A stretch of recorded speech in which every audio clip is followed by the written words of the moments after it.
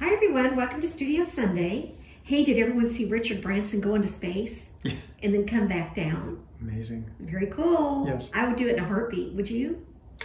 Uh, no, I'll be waiting on the ground with some snacks for you. I'll have lunch ready. I would do it in a heartbeat. Yes, you would. You're, she's a daredevil. So cool. Yeah. Anyway, onward. Well, you know, you kind of had tested for it already because we did the uh, centrifuge at Disney World, and it's 3G, and you were great. You happy as a lark. Yeah. Yeah, I crawled out of there on my knees. Sorry, babe. okay. okay. Serial 5 came out on Wednesday. Uh, so you guys be sure to pick it up at your local comic shop or on our website. It's up on the site. Go get it. Uh, and if you've missed any issues, the first trade, The Glass Tomb, has shipped from the printer, which doesn't mean much these days. I'm not exactly sure when we're going to receive it. It is so crazy out there right now trying to get things to and from. What used to take four or five days is taking two, three weeks. So, um, anyway, we're hoping to get it here in the next few days. Let's say that. Things have changed out there in the world, so it's hard to navigate it. And Terry will let you know on social media when we get them in the store. So, uh, and then they'll be in comic shops. I think it's the 28th. So hopefully we'll get them before then. Fingers crossed. Uh, an update on the 2021 sketchbook hardcover. We are reprinting it with our tried and true printer here in uh, Texas Brenner Printing in San Antonio. They print all of our um, individual issues. So we trust them completely Yeah. to do a good job. And Terry, you're actually going to go over to San Antonio, aren't you? Yeah. And do a press check. do a press check, put my eyes on it, uh, make sure it's um, what you what you paid for. So, and I think we'll see those in about three weeks, maybe three to four weeks. Yeah. Anyway, as a bonus, no customs to deal with, so we should get it very quickly. It's a 200 mile drive. Mhm. We could actually go pick them up if we Yeah, need to. go get them. Yeah. I have to make a bunch of trips. I can only carry one box at a time, but you know, So I want to talk about conventions for a second. We've had a lot of questions about if Terry's going to be making any appearances this year. And the answer to that is just very simple. The answer is no. No shows this year at all. Uh, we know there are lots of shows that are happening in the second half of the year, but we have decided to wait until next year to get back out there. Um, Terry's got a lot on his plate right now, and things are still you know, kind of in flux. So we just made the decision to wait until next year. Right now, um, you're just scheduled for San Diego Comic Con next year in July. Okay, Uh, but I'm sure, you know, the schedule will change as things change. okay, But nothing in 2021. So if you want to catch Terry live, you have to come to Terry Moore Live on October 1st, 2nd, and 3rd. hmm We'll be live streaming, and I'm going to have a lot of sketches. We're going to have original art for sale. Uh, the books will be on sale. Yeah. Major things going on. Um, Maybe even a band. We'll have a parade. Stop me when I get out of control. You're already out of control. And speaking of San Diego Comic Con, they're doing San Diego Comic Con at home again this year, and it's July 23rd through the 25th. You will be doing a panel, but it is pre recorded, it's Yeah. not live. I've already pre-recorded that panel. And you'll let them know as soon as you have a date and time on that. Yes. Okay. Um, we're also going to be an exhibitor, quote, at that show, and you can go to our exhibitor site, and there are 10 items up there that are will be for sale. It's just our books. Mhm. Um, but if you want to buy it during the Comic Con at home sale, uh, you can make a note in your order and you'll sign the books for them, won't you? Yes, I will. Uh, just like we were at a show. You buy it, I'll sign it. Yeah. Um, that's great, and I, I'm sure that you know we have a, a, a core group that uh, has access to all this. But the you know the thing about San Diego Comic Con is all the people that maybe you've never met before. Uh, it's a big gathering of people from around the world, and uh, it's our chance to show our books to the world. Yeah. So, um, so keep that in mind. It's July 23rd, 24th, and 25th. Okay. But next year we'll be there It'll be a thousand degrees in Houston in July, and we'll get off that plane in San Diego. It'll be a balmy 70 degrees. Yeah. Heaven on earth. So, yeah. And we, we were so happy to go to San Diego every year because of the weather change. Yeah. So much cooler. Yeah. So we're looking forward to that next year. So everybody uh, keep that in mind. Um, so Mr. Moore, Mm. how's the sketching coming? Oh boy. I think I got two sketches made this week. Oh boy. Yeah. Okay, just saying there are 92 late days left until October 1st. 92 days. I have 10 sketches done. so I need to do a sketch a day. Yeah, pretty much. And it needs, it better be a masterpiece. It better be. Otherwise, heads will roll. wow. Yeah. Uh, it's going to be an interesting three months, folks. Who came up with this 100 idea? You did. No, I, Yeah. surely not. Was I drinking? I think you must have been. Yeah, I'll I will 100. say the uh, the nagging, I mean encouraging, has been paying off because the book's getting a little thicker every day. well, it is. It is. I, I, we should actually just record it like Alexis, and I'll just hit a button. Alexa. Alexa, how are you doing on your sketches? How are you doing on your sketches?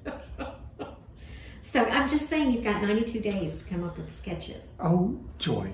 So Well, it's plenty of time. No problem. Good, good. Absolutely. We got this uh, covered. I'll check in with you next week, Oh, we got this covered. as will everybody watching this. Mm. So just so you know. Okay, now that that's over, you ready to get on the hot seat? Yeah, of course. I'm not afraid. Bring it. Okay, the first question is regarding equipment. Hmm. Do you think you can get the same high quality of work with personal equipment as opposed to professional equipment, i.e., light boxes, scanners, etc.? Do you need a professional scanner, or can you get the same quality with just a scanner that's like on your printer? Um, that is a technical question. What you want depends on where you want your art to go. If you want it to go to the web, and you know you're running everything you're doing is off of uh, the internet, that's where you're showing your art. Then you only need something that can achieve, say, like 300 dpi, which I think these multi uh, printer scanner devices can do. So you're fine with that. Really, the whole thing about the bigger scanners is to get much higher DPI so that you can uh, get a higher resolution for print. Um, so my scanner goes up to, I think, 1600 or 1800 DPI. Um, and that's because I want to way overqualify the scan for the printer so that every little line is okay. That's not the case for the web. The web, whatever you do is gonna, you're gonna pull it down to 72 DPI and put it up on the internet. So I think, you know, you don't need a $2,000 scanner to get images on the internet. But if you're planning to print them, you need a better scanner. if you're planning to print, you need to scan at high resolution. And um, I'm sure it's much more affordable now than it ever was. What about things like light boxes and that type of thing? I have two light boxes. One of them is a big old clunky, clunky wooden thing, and I use it to um, mark off my 11 by 17 art. But when I'm just doing sketches, um, as you've seen, it's not right here, but you've seen it before, I use a $50 plastic uh, light box, a little flat thing, looks like a notebook. And um, I saw it because of Jeff Scott Campbell was using it one time in a video. Um, and it just lays right on your table, plug it in real quick. Um, very easy. And, and if you're working in this format, But it's more nine by that size. twelve yeah, or eight and a half by eleven. it's just slightly bigger than the eight and a half by 11.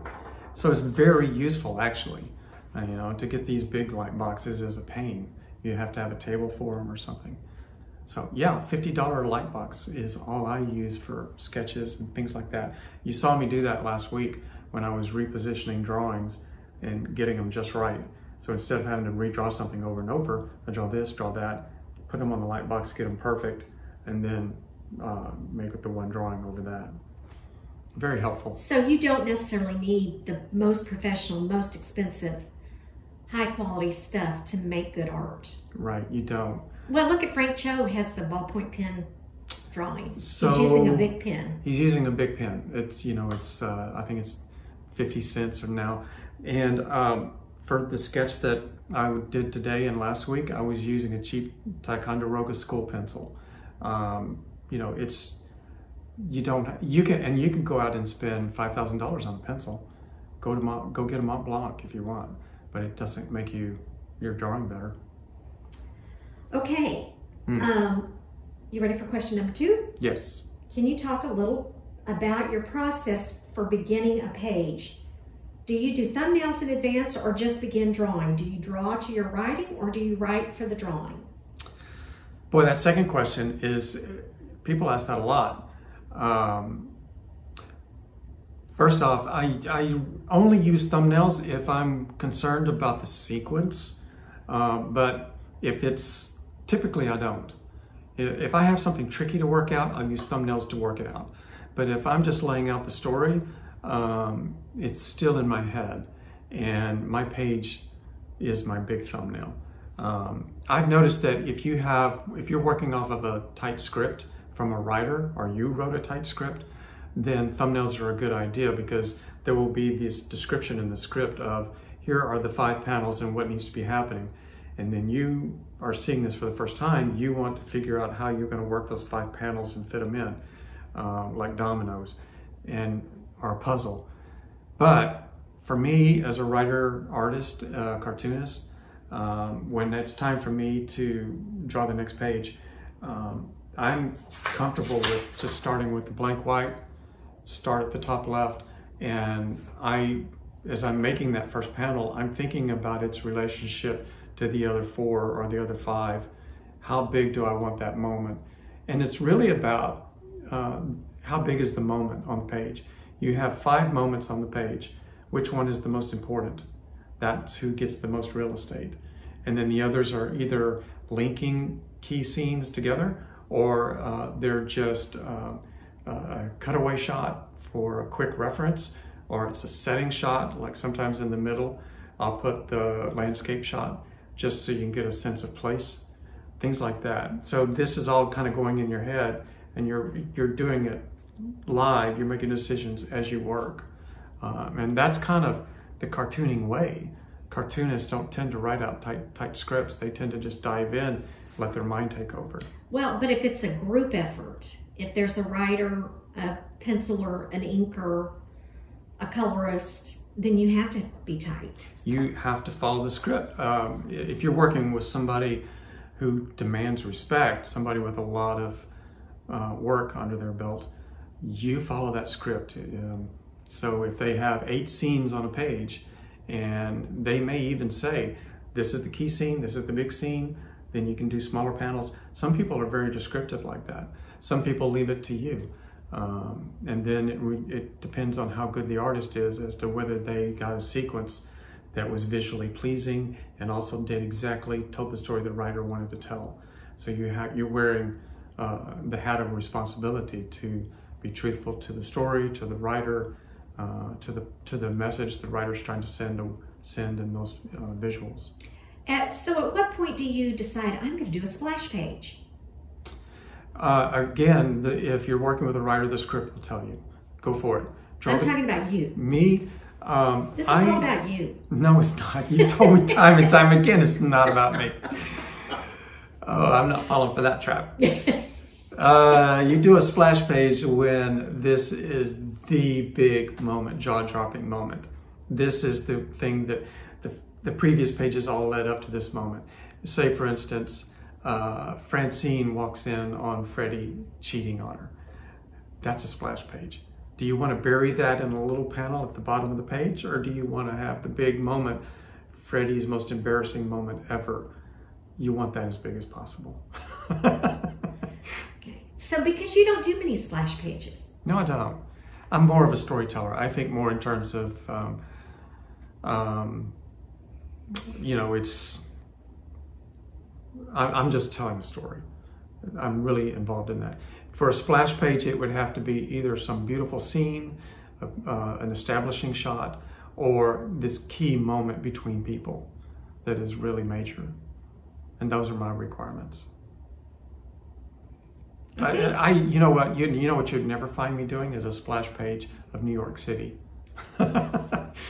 uh, which uh, all those people that draw the superhero comics can draw the cities with all the buildings and all that. Wow.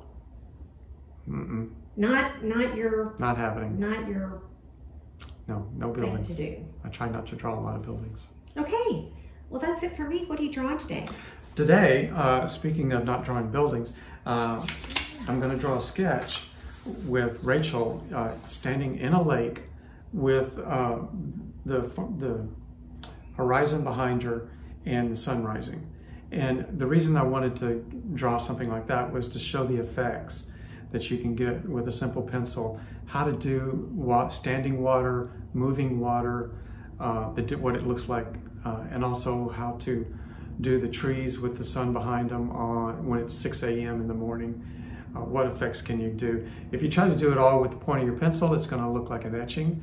So you get into more pencil effects, and I thought that might be something worth talking about as pencil effects uh, in the open air. Okay. That's so. Okay, meet up here, and I I will see you guys next week. Okay, maybe right here.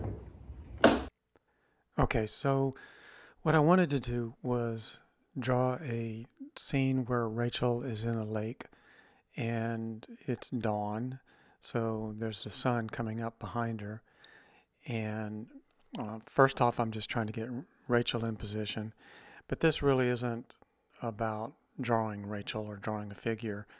I'm just uh, trying to get her there in a setting.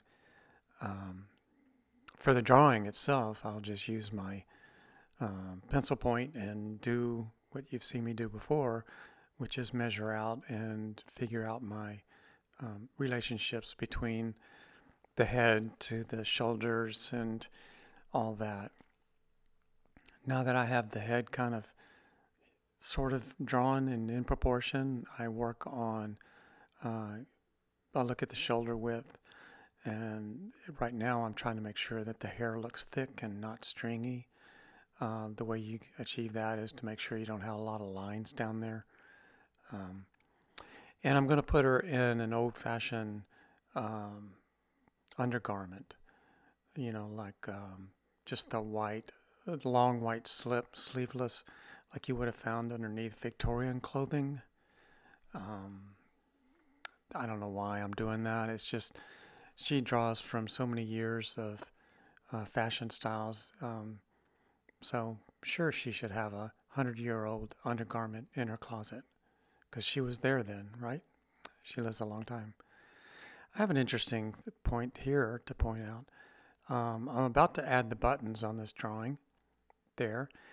If you put them on the right, that's where the buttons are for men. The buttons for women's garments are on the left. And I don't know if guys, all guys know that. So it's a little detail that you can put into your drawing that shows that you pay a little bit of attention in life. Um, okay. What I want to do with this background, once I get her in position, is try to use the side of the pencil to get some effects for the water. Um, at this point, I'm thinking about where is she in relation to the water? Is the water moving around her? Um, you know, she disappears underneath the water line, but the water is reacting to the body that's down there. And that's what all those ripples are all about.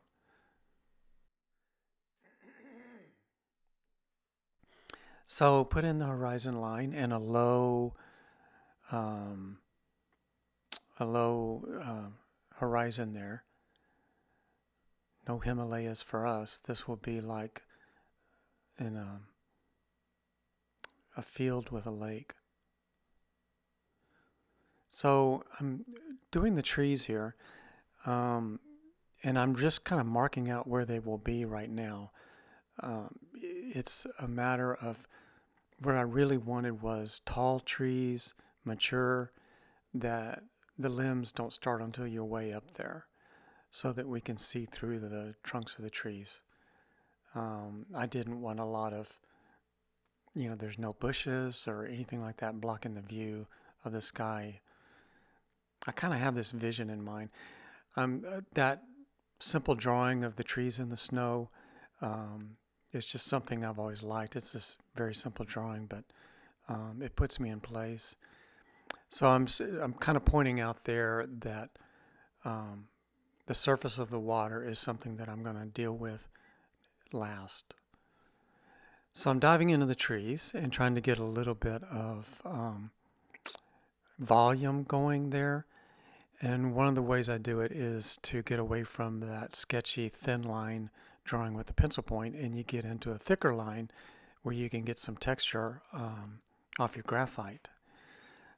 One thing you'll notice too is that um, I'm going to go back now and work on where a light source is on this.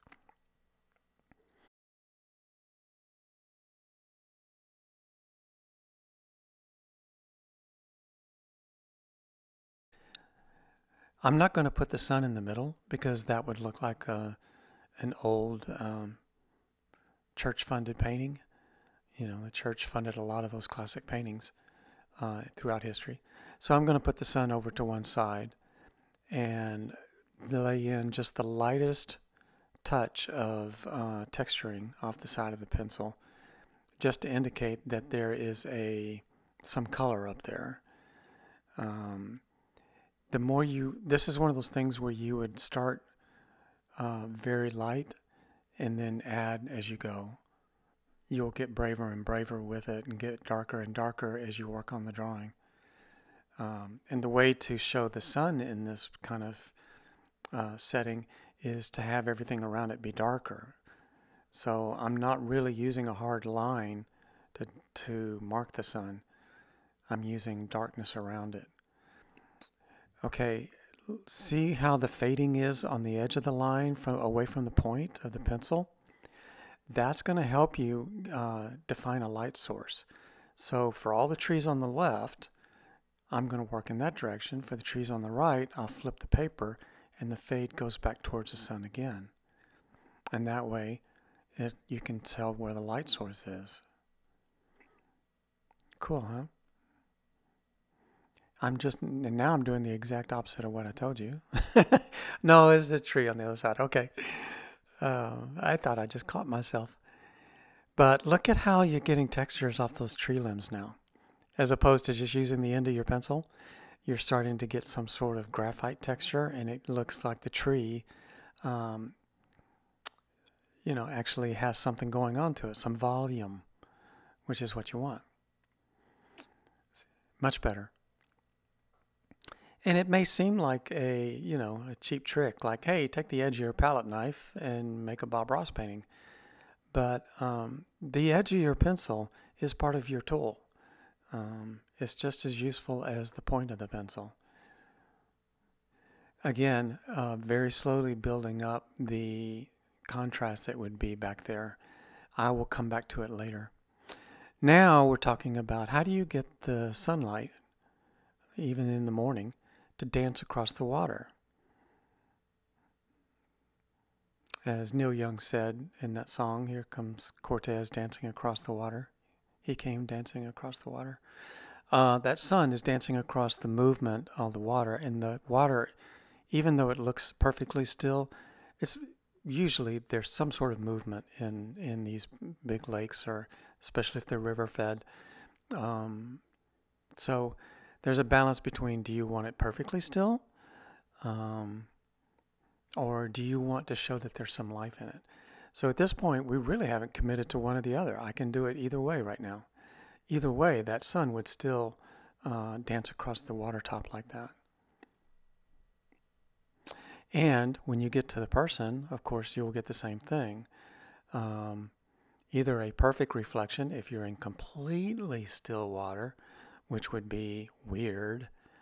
Uh, it's possible, but it's not that not that often. I haven't seen it very often there's usually some sort of movement in there, especially if there's wildlife. If you have uh, fish or uh, water snakes. Let's pretend this particular lake is chock full of water moccasins, so they're stirring up the uh, surface pretty well there. Alligators, crocodiles, um, I'm pretty sure there's a shark in there too. We're not afraid, are we?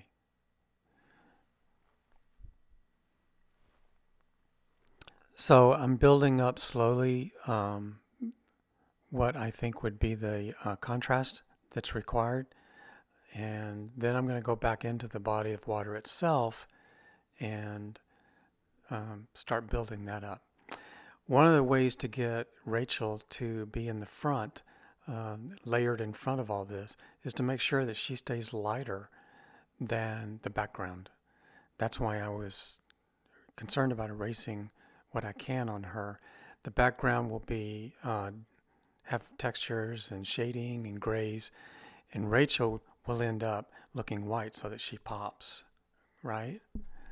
Um, let's see where we are.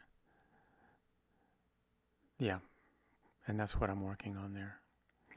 I think um, I can do some erasing on that sun and get it to pop a little more. And then I'm going to go ahead and put in water flow. And sticking with the side of the pencil, um, because of the fading that you get on one side, a softer, broader line. And now I am making a blurring the edges, which would actually be the case in the morning when the fog is lifting and things like that. There is a blurring of the delineation in the background. So here is where you would get out your paper stump. I don't have it. Um, so I'm just going to use my fingers. Um, I'm imitating a paper stump there. uh, so I just rub my fingers on it. And it just kind of softens the edges on everything. And now take the white, put the white back into the sun. And it pops pretty nice. Um, we're starting to get a little bit moody. I think that I would make the sky a little darker now. Um, and just get braver with that and get a little more contrast going. Um, but that's kind of it. I mean, what I'm looking for out of a drawing like this is like that, just a sense of place. You look at that and you think, oh, I'm in trees in the snow. You look at this and you think, I'm on a still lake. And that's all you really want out of drawing like this is just a sense of place. I hope you enjoyed it and I hope that you it'll encourage you to draw something that you don't normally draw and try to find a good sense of place, a good sanctuary for yourself and um, in the middle of all this bad news. Uh, art is a very good therapy session. So remember that. See you next week.